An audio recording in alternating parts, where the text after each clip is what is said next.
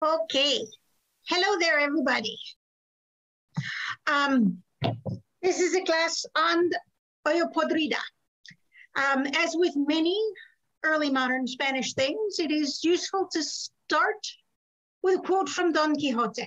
So, um, that big dish is smoking farther off, said Sancho. Seems to me to be an olla podrida and out of the diversity of things in such ollas, I cannot fail to light upon something tasty and good for me. And we all know what a connoisseur of uh, culinary pleasures Sancho Panza was. So he liked it. And I hope that you will like it as well. Um, olla podrida is the proper Spanish pronunciation of the name of this dish. However, sometimes I will probably slip because English is my first language and say olla podrida. Olla podrida was a fashionable dish during the Habsburg monarchy. In the 17th century, it represented the culinary taste of nobles, both for its ostentation and its opulence. Yet everyone from kings to canons, directors, and peasants enjoyed it although its beginnings as a simpler stew with humbler ingredients is generally agreed upon. No one really knows its point of origin. Some postulate it was Gallic, others Visigothic in origin, while others theorize that the olla podrida comes from the Jewish dish adafino, a stew prepared on Fridays to avoid cooking on the Sabbath. In the Book of Good Love, by Juan Ruiz, the archpriest of Hita, um, which was uh, published in 1330. Uh, he mentions it. It is a complete meal that the Jews prepared for the Sabbath.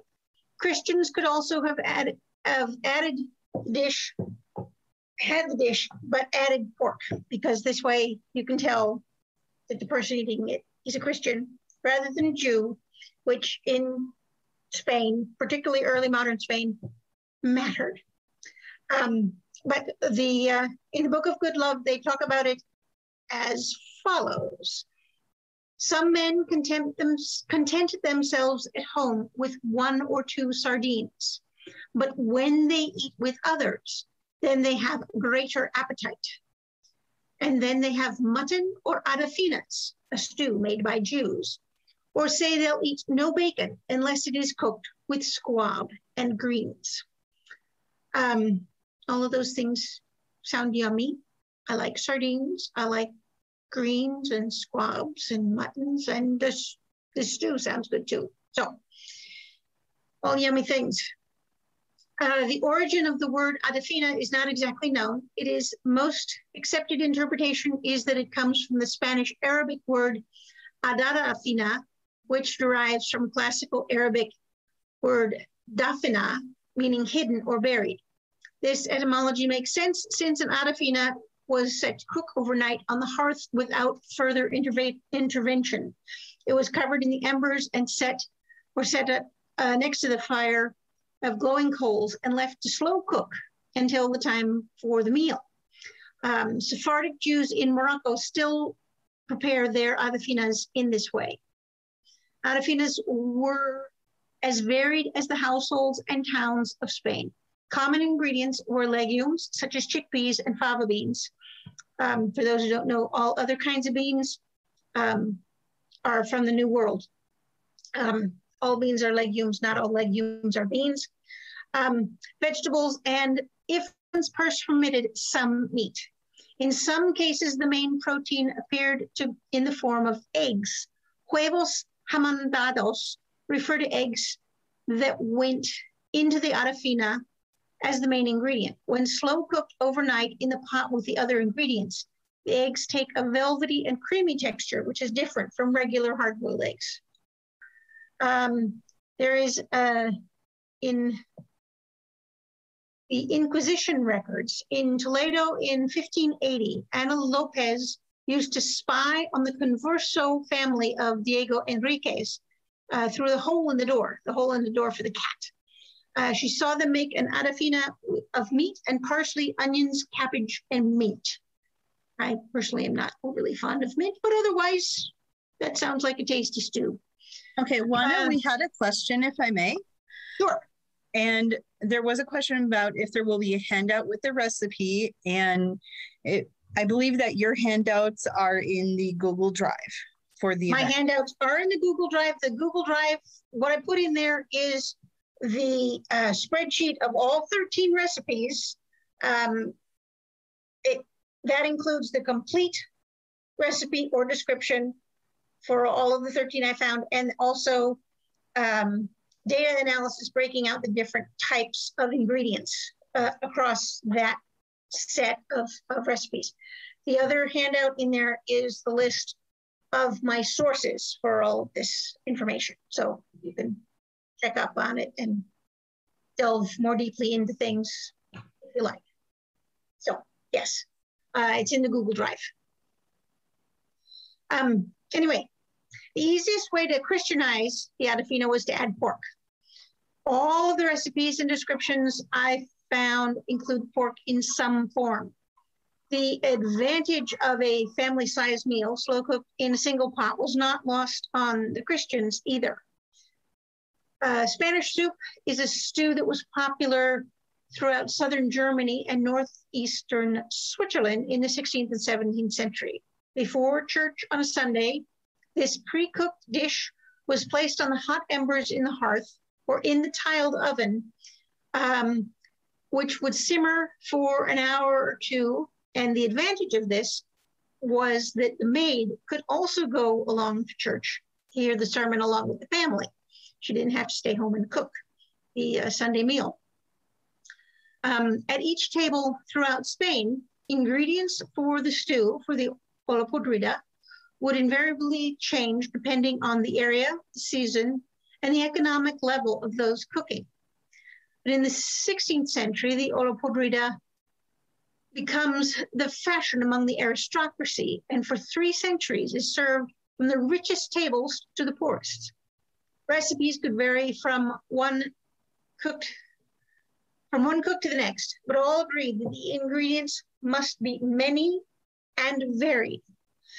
Um, the olla podrida is the um, ancestor of the modern Spanish dish, uh, cocido. Um, again, we go back to Don Quixote. There's this section where we talk about um, this is um, this is Sancho again because most of the food things in Don Quixote are from Sancho rather from rather than uh, from Senor Quijana. With this, the governor was satisfied and looked forward to the approach of night and supper time with great anxiety. And though time to his mind stood still and made no progress. Nevertheless, the hour he so longed for came, and they gave him a beef salad with onions and some boiled calves' feet, rather far calves' feet, rather far gone.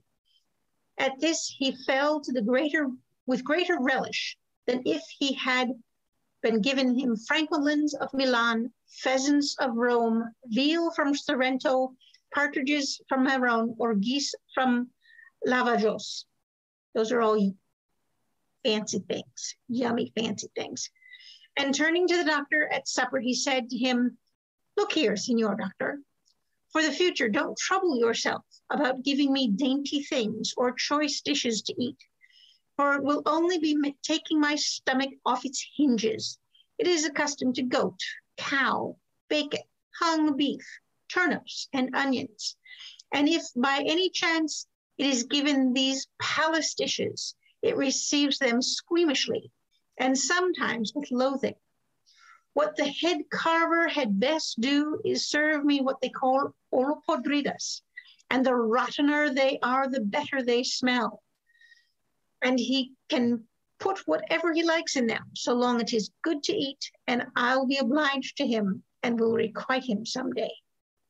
Now, the reference to, to the rottener they are, the better they smell. Um, podridas means rotten. So an olla podrida means a rotten pot. Um, but most likely it is not rotten as in spoiled. It is more likely that this means rotten um, as in long cooked. Uh, rotten, like fermented things. Fermented things are, to some, in some sense, long cooked. They're cooked through the fermentation rather than fire, but it's that connotation rather than spoiled, yucky garbage, because this dish is not spoiled, yucky garbage. Um, the olla podrida is one of Spain's rich gastronomic contributions to Europe. Culinary giants like Carême and Escoffier mention that the olla podrida is Spain's first national dish to influence other European cooking. Whatever its exact origin, the rotten pot began to appear in Castilian literature in the mid 16th century as a symbol of rich, of rich food such a dish could not go unnoticed and was soon known throughout Europe, thanks to the relevance and expansion of the Spanish Empire. The rotten pot appeared in foreign recipes. In uh, 1570, Bartolomeo Scappi, cook of Pope Pius V, included it in his famous opera. Scholars speculate that Scappi became aware of this stew when he prepared the banquet for Carlos for Charles V, also known as Carlos I to us Spaniards, um, his coronation feast. Olla podrida found its way to the court in Vienna as olio soup, to France as, a, as potpourri, and to northeastern Switzerland as Spanish soup, which I mentioned earlier. Um, at around the same time as Spanish fashion began to spread throughout Europe.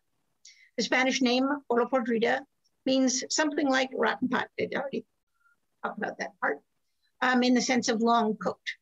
Um, let's see, the name misconstrued in Spain itself as a rotten pot was then translated literally by the French as potpourri. Given the many different ingredients, the French name for the stew acquired the um, transferred the meaning of mishmash and ultimately untitled, start over. Ultimately, potpourri in the sense of a musical medley. Now, the recipes that I have found are from Spain. The earliest one I found was Spain from 1563. Um, 1563 is not necessarily the date the book was published, but it is the death date of the author, the actual publishing date of the book. I don't know. And that is uh, the Regalo de la Vida Humana by Juan Velez. Um, that's the earliest one I could find. And then, as mentioned before, in Italy, 1570, Bartolomeo Scappi, um, and he describes the dish to prepare a dish of various ingredients called in Spanish olla podrida. So even though this is an Italian book, he specifically mentions this as a Spanish dish. Um, then there's also one in uh, 1581 in Germany in Rumpolt's Ein New Kochbuch. Um, this one is huge. There are 90 different ingredients listed in this recipe. It goes on and on and on. Um, then again, there's another Spanish recipe in 1599, Diego Granado. Um, and for those of you who stick very strictly to the 1600 cutoff date for the SCA, well, then you stop there. Uh, but for those of us who are a little bit more flexible, um, it's also in the Science of Cooking from Transylvania in 1603. Um, it is in the Ouverture de Cuisine by Lancelot de Casteau from Belgium in 1604. Uh, Casteau describes it as to make a potpourri called olla podrida in Spanish. That is how he describes the recipe. Um, we had a, we had another question come up. Yes. Yes. So this is from Magda. And she said, I think I know this dis- dish as cholent. Are they related or is it just me? And not the fermented bit, but the overnight bake in the hearth. Um, I am not familiar with cholent, so maybe. Um, cholent, uh, is that is that a um, a dish uh, from the Jewish culinary uh, traditions? because that may be related to the Adafina, which. Yeah, it's a Sabbath dish. Oh, okay. So then, yeah, it's probably a form of the of Adafina, which is the origin or a likely origin of an olla podrida. Because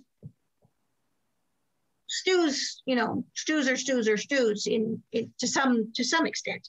Um, there are certain things that make a particular stew that dish.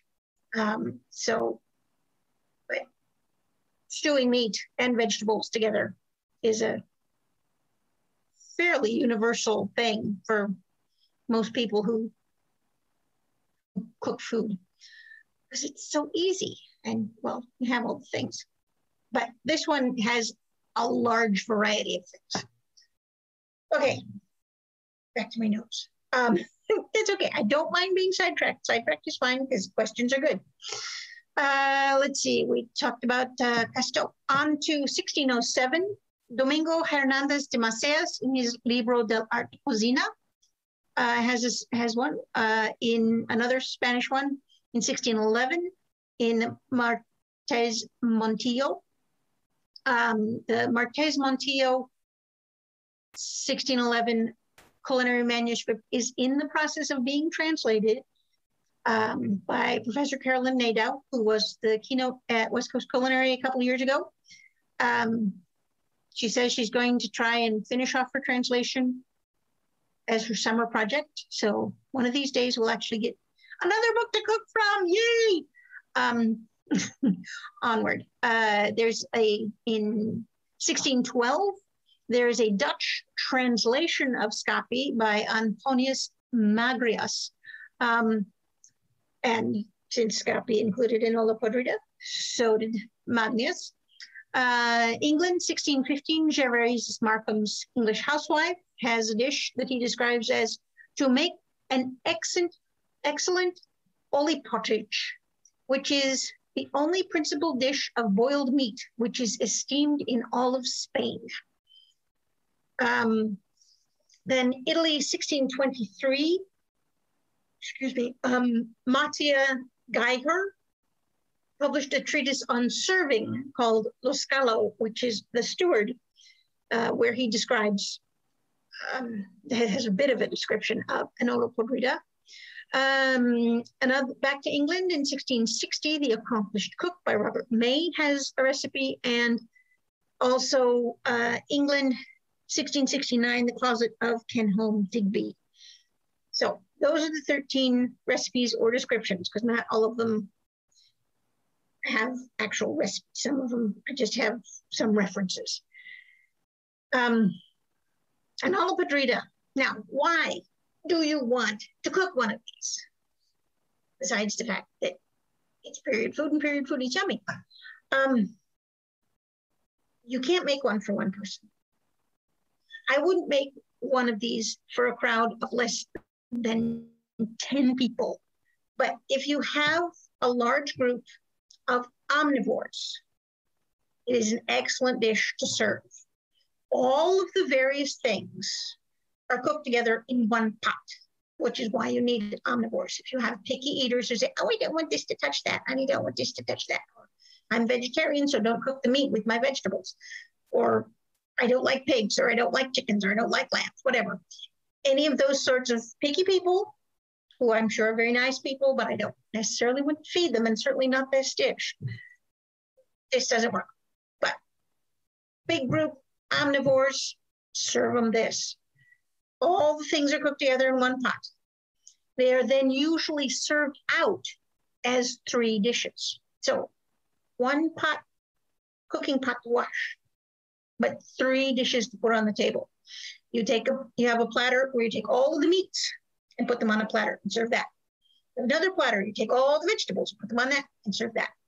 And then you have this beautiful broth to serve that. So you have a meat platter, a veggie platter, and a really good soup. It all came out of one pot. This is really great, particularly if you have a lot of people to feed, works for a feast, works for your, your group that you're camping with, um, if you're doing it at a camp, um, do it when you have a wood or charcoal fire you can do because this is a long cook thing. So not over your Coleman or your propane because you'll use up all your fuel. But if you have um, a facility for cooking over fire or over charcoal for a long time, and just one person paying attention because don't leave the fire unattended, um, you can feed the whole kingdom of not picky eaters.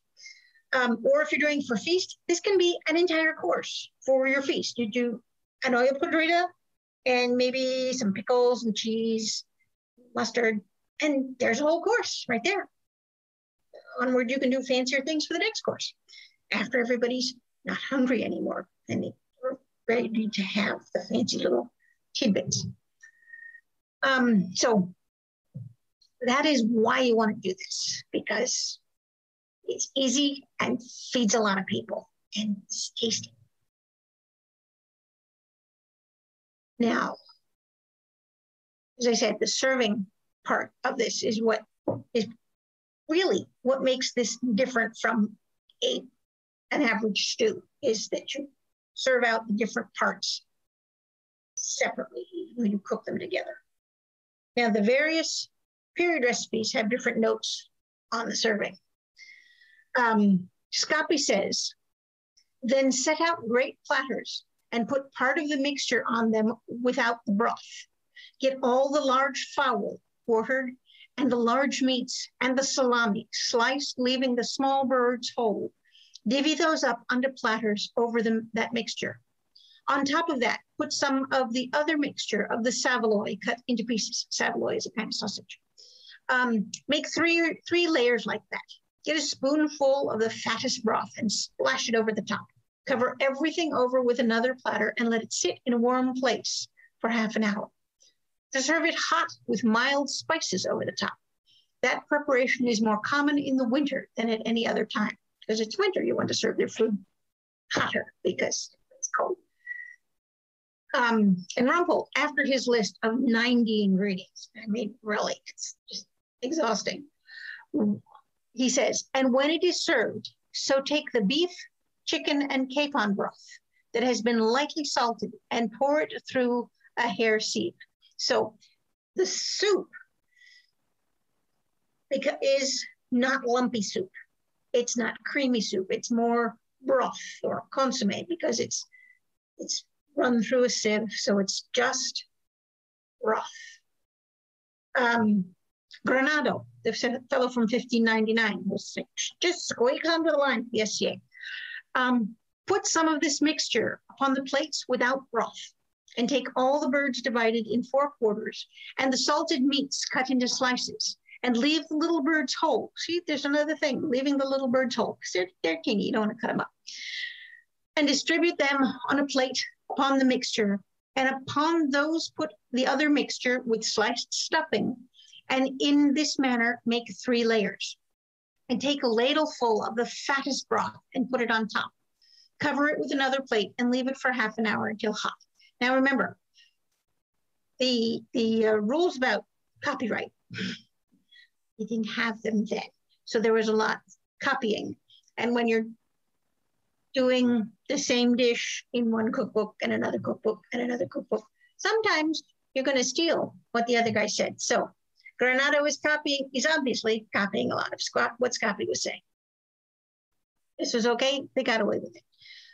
Uh, let's see, Casteau, our Belgian friend, who my downstairs neighbor, Master Wolfric, refers to as just add butter, because in a lot of his recipes, extra butter, um, which is good. We don't like butter, it's yummy, it stays with us forever.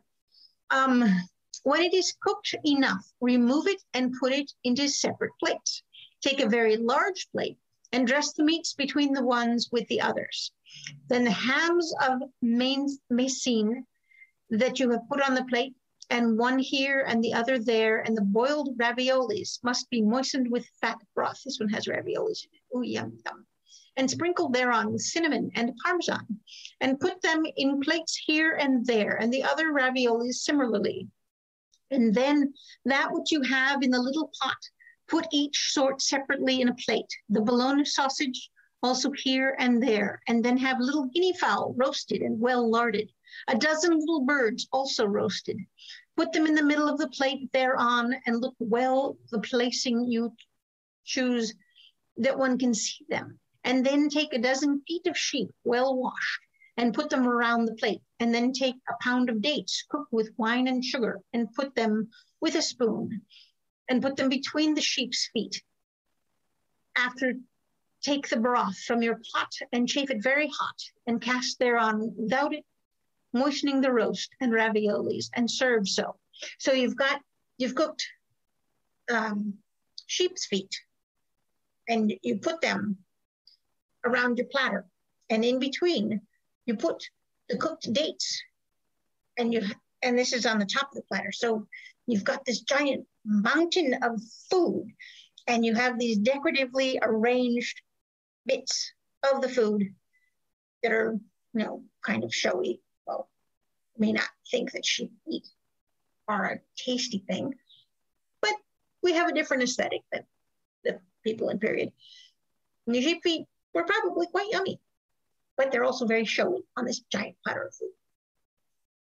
Um, let's see, and Miss uh, says, make plates of it with mustard and some other and on top of the plates cast parsley because it looks nice and is very good. So here we have somebody, an early modern guy garnishing with parsley, just like, you know, modern restaurants, you know, put a little parsley there on the plate. Nothing's new. Um, Martes Montiel, the one I told you that the translation's coming, uh, he takes an interesting approach. He makes a giant pie out of all of this stuff. Put all the ingredients in bowls, each one separate from the other, and the vegetables in another bowl. And don't let anything fall apart. Let them cool. Make a big, thick crust with rye or whole wheat dough. Place it on a baking sheet and fill the pie with all the cooked ingredients. Season with all spices and caraway. Add in all the vegetables, no more, no less. When the pie is full, seal it, and place it in the bread oven because no copper oven would be able to hold it giant high. Place it on the copper baking sheet and don't remove it from the sheet until it is done baking. When the crust is half baked, stick a needle in the top and fill it with the stock and let it continue baking in the oven for an hour. So you have a vent hole in the top of your pie. And halfway through the cooking of the pie, to pour the stock in because you had your, remember, you have your meats, you have your veggies, and you have your stock. Um, there's a, I will put it in the chat. There's a guy who in Spain who does these really cool videos of um, of doing period food reconstructions, and he did this particular pie thing add. And we did have a comment. Um, we, we did have a comment that said, I thought just add butter was Vereen, and that is from Eden of Lion's Guard. No, just add butter is is ouverture. Just add butter is ouverture to cuisine. Um, I mean, Lancelot de Casteau, uh, Casteau was the cook for three successive prince bishops of Liège in a fairly short period of time. These prince bishops ate well and died happy because they had all this butter. Um, so, anyway, uh, let's see, serving instructions from Markham. Uh, he says, then the dish, then put the dish upon great chargers or long Spanish dishes made in the fashion of our English wooden trays with a good store of sippets in the bottom. Sippets are little bits of bread, probably toasted. Then cover the meat all over with prunes, raisins, currants, and blanched almonds, boiled in a thing by themselves, and then color the cover the fruit and the whole boiled herbs and the herbs with slices of oranges and lemons, and lay the roots around about the sides of the dish, and strew good store of sugar over all of it, and serve it forth. So Markham's recipe has a lot more fruit than everybody else. It's got prunes, raisins, currants, oranges, lemons. Um, most of the others don't have a lot of fruit. Um, but he's English. What is he? I suppose fruit stew can be good. Um, and Geiger was writing about was writing a serving manual rather than a cookbook. He organizes the dishes that were to be served seasonally and places what he calls the oglia podrida as the third course among those things that are served in the wintertime. So this is all of the 13 recipes. And I've divided them up by ingredient, ingredient categories. Have meat, have lamb, pork, beef, veal, sausage, and then game. Poultry of various sorts, veggies of various sorts, grains, bread, pasta, nuts, fruit, fats, and flavor, spices or other flavorings, and dairy and eggs. And then at the bottom, we have the actual whole recipes. This is what is in the handout in the Google Drive. So if I zip through things too fast, you can take your time and look at it from the Google Drive.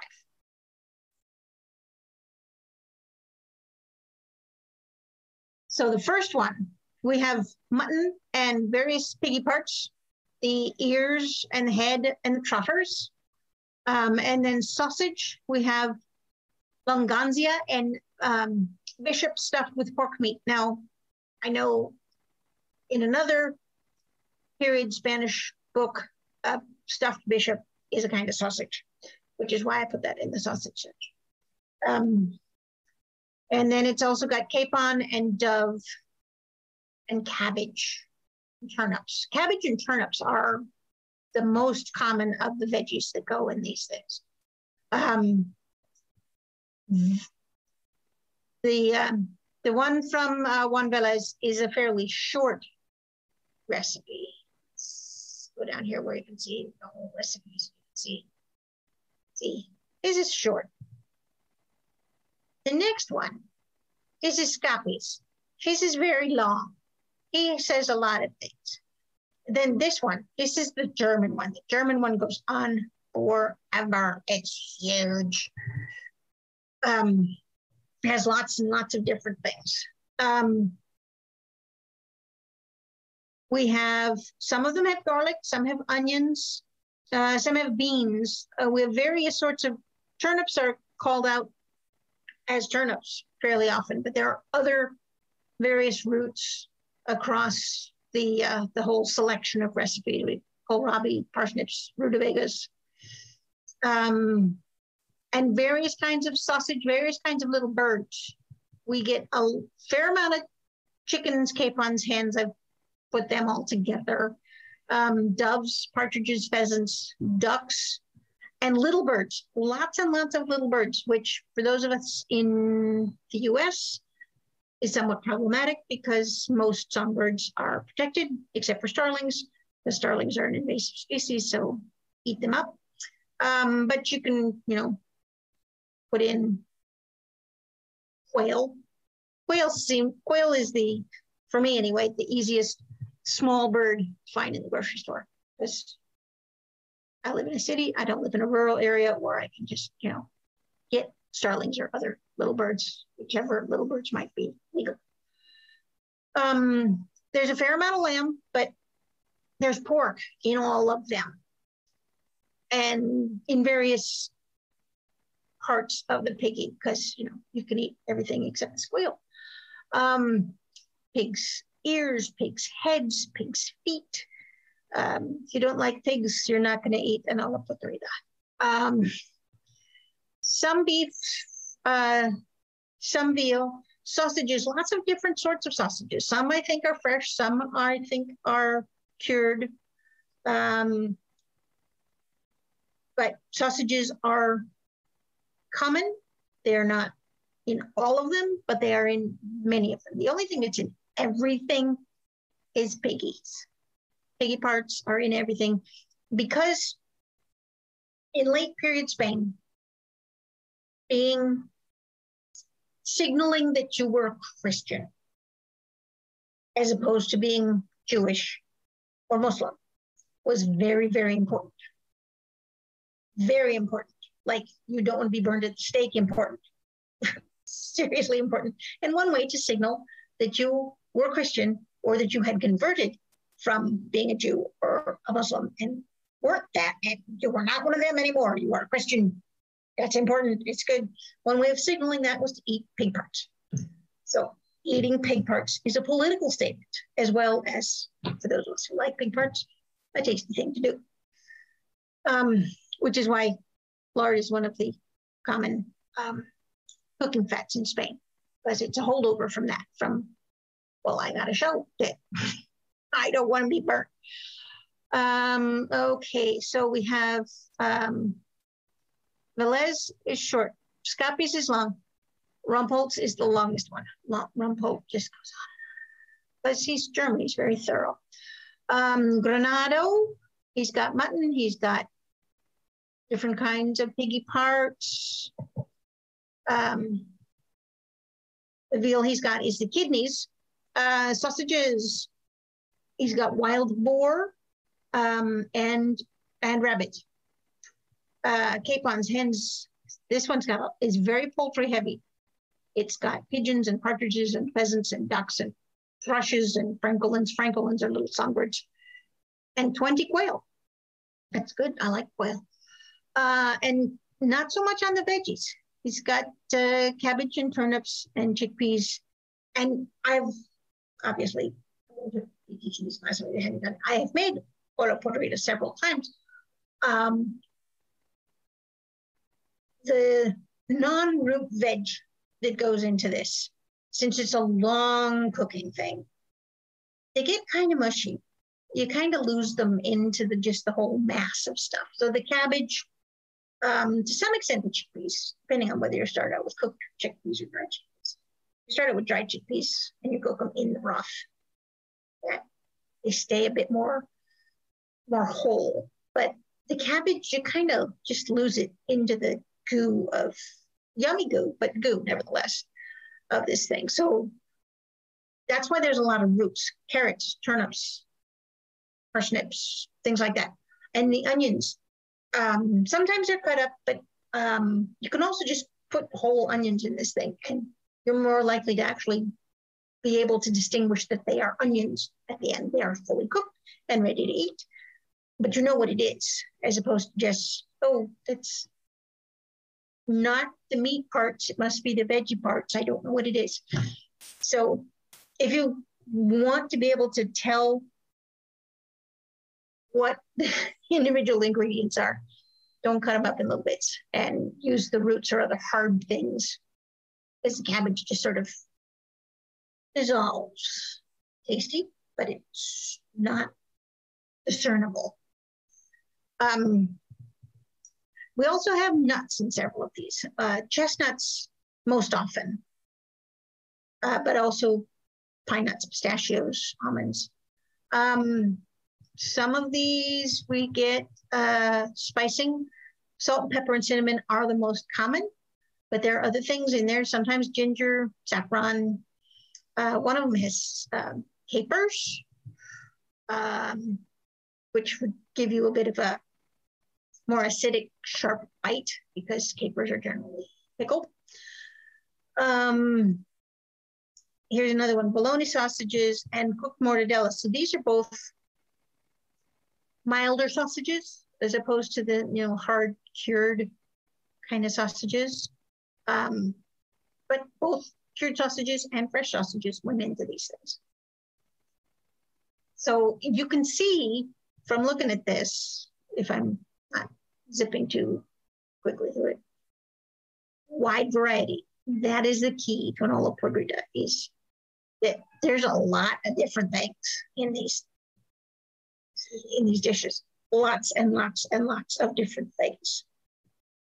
So the variety of stuff must be pork and a lot of other things, and that you serve it generally, not always, but generally you serve it in separate parts are the distinguishing marks of this dish. And my kitty has just come up here. I'm trying to make sure she doesn't get on the table. Um, and the pig, remember, you can use all the parts. Use the ears, use the tongue, uh, use the feet. Because remember, you're cooking this a long time. So those parts that are not so popular, um, but that are good when you braise them or cook them a long time, like the ears and the feet and all of those things. Because they just they get much better. You don't quick cook those things. They're too much, there's too much cartilage in them or other overly chewy bits. Um, the Dutch one, since it's a translation of Scappi, that was one of them that I had. I didn't have a whole translation of his translation. I just had notes on where he's different from Scappi. So that's one reason why it doesn't say pork on this one, because it's assumed. It's all Scappi's recipe, and the only notes on the Dutch one are where he's different. He uses blackbirds. Scappi does not use, and he uses dry peas instead of fresh peas. Scappi uses fresh peas. But Scappi's in Italy, and this guy's in, you know, the Netherlands. So um, seasonality and where you're from and what economic level you are determines to, a great degree what you're going to put into an olla podrida. But if you look through the through this spreadsheet in the handouts, you will see just tons and tons and tons of variety. So while I said this is for the not picky eaters, and I still maintain it is for the not picky eaters, there's still a lot, a lot of variety. So you can fit this to whatever it is you find in your garden, find in your grocery store, find in your freezer, um, and make one of these. This one, this is, yeah, this is Markham. Markham has potatoes. See, he has potato roots. Now, uh, sweet potatoes, white potatoes, I don't know. You can make arguments on both sides probably. Or you can talk to um, Master Torvald, who has done a class on potatoes in period and probably has a learned opinion on this matter. Um, I do not have a learned opinion on this matter, so you can try it either way, sweet potatoes or white potatoes. Um, spinach, carrots, on the um, the spinach along with the on even the cabbages, one of those it's going to just sort of. And the lettuce, some of them have lettuce. They're going to just, you know, kind of dissolve this long cooking thing. Um, let's see. All the way to Digby. Digby's the last one. Digby's got, and his pig parts are bacon.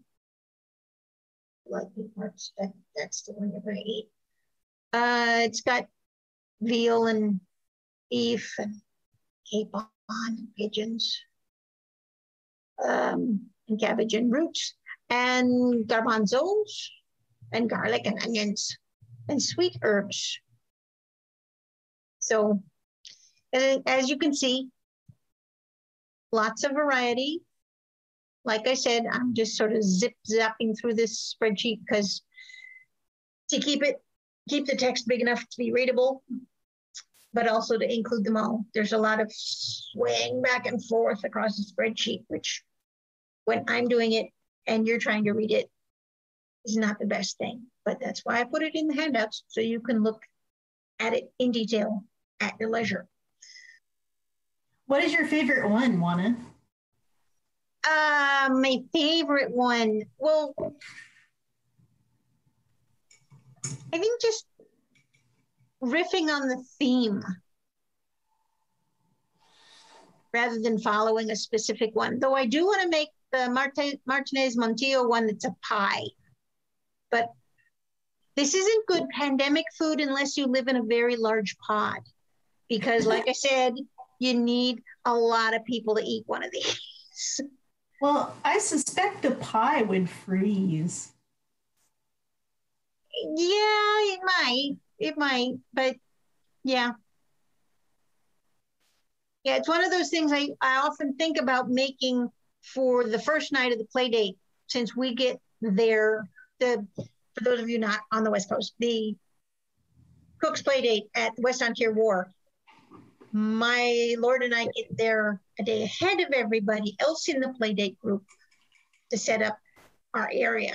And I've I have often thought, well, I should make it for the day when everybody else shows up because they're all, you know, tired from travel and setting up camp that we did the day before. And this way everybody could just eat. But usually instead we just go off site because it's easier. And there was a question that came through in chat from Aisha. Does yes. everything go into the pot at the same time? Some of the ingredients you mentioned need a longer cooking time, and some will fall apart before others are even close to being ready. Yes, there are uh, in the descriptions, um, it varies as to what goes in in what order, but things do frequently go in uh, in different orders. Like you put the meats in first, um, and you put the vegetables in later. Um, often the small birds, or even some of the larger birds, if you've got them in the parts, are roasted and then put in the pot. Um, there is a great variety. Well, then I'm going to ask a question. So I have, um, so I think you said cooking in a clay pot over a fire and I imagine something like this would work in a tagine just fine. Yes. Where you, yep. Yes. Well, a tagine's a clay pot. Yep. So I'm excited to use mine again this summer. So. Yeah, the the pot I like to cook in. I got this big, giant uh, clay pot in Chinatown. Um, it's got it's a big clay pot, but it's got wires around it, sort of to support it because it's so big. Um, which I don't generally take to, take to the play date because it's so big, but we've been going through our storage and I found it. Oh, that's my olla podrida pot. Um, yeah, that's, but, yeah. I'm a, I'm a fan of Alton Brown cookbooks. And I think one thing he recommended is going to an Asian food store to find large pots like that and they're excellent yes. re- they're excellent and places cheap. to find and cheap too and cheap so. yes which is good, particularly if you're taking it with you camping where you might break it. And that way, if it was cheap, you won't cry so much. Yeah, I'm always panicked if my tagine breaks because it, this one was actually imported from Morocco by a friend of mine. So, oh, yes. Pottery is fugitive. That is unfortunate, but true. Uh, I have several several of my pipkins that I'm quite fond of. I know someday they'll break and I'll be unhappy, but I'd rather use them and enjoy them.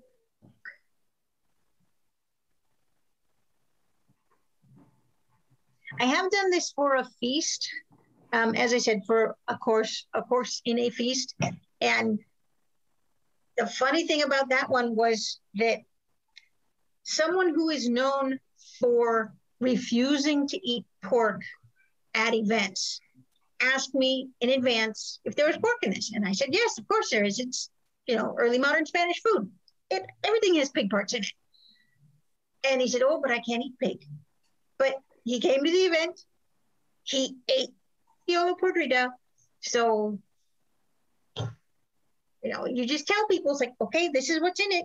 You are an adult. You make your own decisions about what you eat. But I'm just telling you what this is. And you can decide to eat it or not eat it. There's a question. What's the smallest size pot that you would make this in? If you were, I'm maybe trying to make a smaller portion of it. I don't know if that's kind of possible. Well,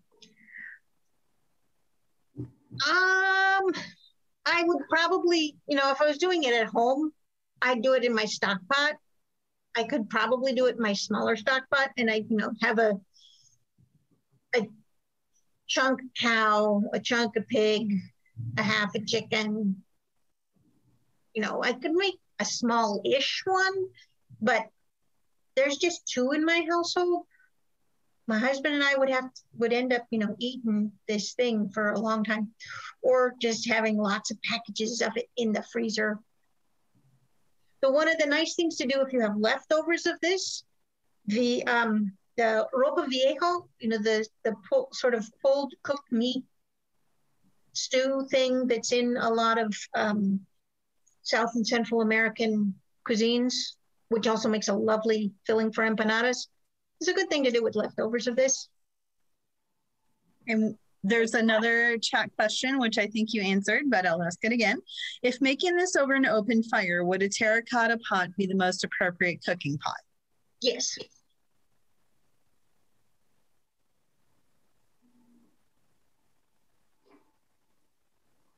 Yes, that's, that's what I would use.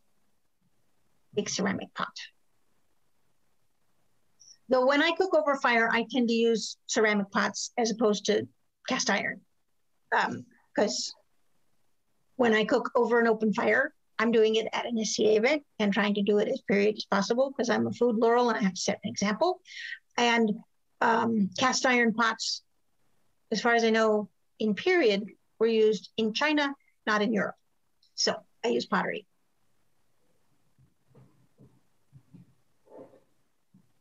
Somebody who knows more about cast iron may argue that point with me, and I'm quite happy to listen to them about that. But as far as I know, only the Chinese were doing that in our time frame.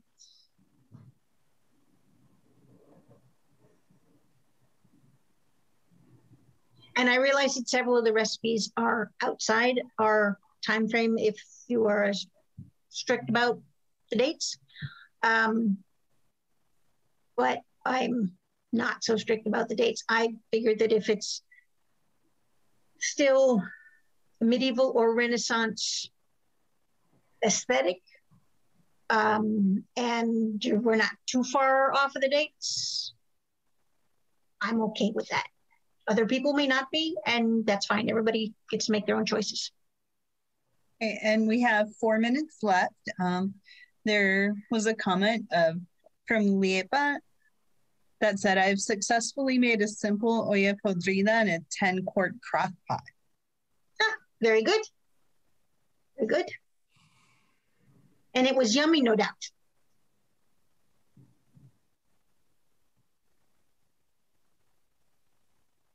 And added emphasis on simple. So. I wonder if this is the sort of thing I could try in my Instapot because I tend to use that a lot in the summer because it's so hot. I don't want to turn on my oven or my stove. So I tend yeah. to use my my Instapot quite a bit. Yeah, I could see that. I could see that.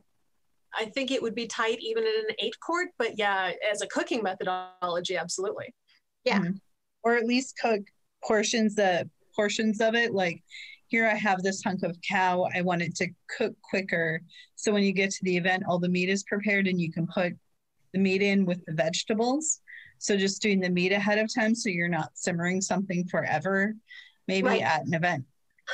I would not cook the meats separately though from one another because you're not going to get that broth that is the melded flavors. True. True. I mean, yeah, because most of the the period ones that do talk about cooking anything separately, it's pre-roasting some of the smaller birds um, and then sticking them in to stew with everything else. I think partially because they'll hold together better because small birds, like some of the vegetables, are, are less uh, hardy in terms of staying together when cooked in this sort of medium because they're small and they have you know joints and stuff that will come apart as opposed to just a hunk of cow's flesh or pig's flesh. But if you cook your meat ahead of time in the broth and you save that broth and keep it with your meat and you bring it and then cook everything else together you do get your melded flavors. Well you could make the whole olla podrida at home and then you know package it up and then reheat it at the event which is what I would, which yeah. is what I would actually do because I'm a herald. I'm busy running here, there, and everywhere. Usually, exactly with my exactly. nose in a book or in the computer.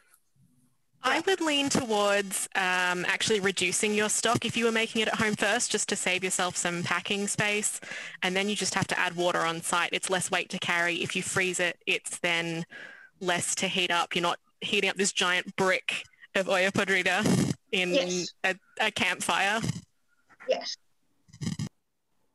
And it's also if you camp with a large group of people, the one person who is tasked with cooking dinner for everybody then can do this fairly easily and simply and feed the large lot of people while all of the other people in camp are doing whatever else they're doing, heralding or fighting or running classes or whatever. Um, so if you're if you camp with a large group and you know one night one person's in charge, one person or just two people are in charge of the meal and you share it out that way. When it's your turn, you could do this. I hope everybody had fun and we'll make more yummy food.